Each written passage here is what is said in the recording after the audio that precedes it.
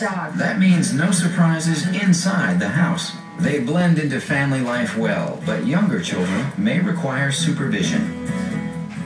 The long and the short of it is that the Havanese is an ideal apartment dog. They may suffer from some eye problems, like cataracts. They require frequent grooming. They're Oh my trainable, God. But She's prefer a eating gentle tail. hand.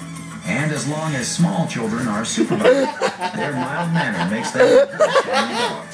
It seems that this little dog from Havana is destined to keep winding its way licking into your people's ass. hearts.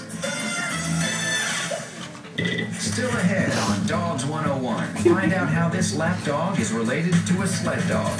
We'll find out why just about one pup in every Dalmatian litter is deaf.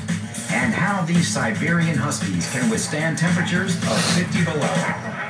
I'm your GPS. Turn right up ahead. You never update me, so now I just have to wing it. I meant turn left up ahead. Recalculating. Turn right now!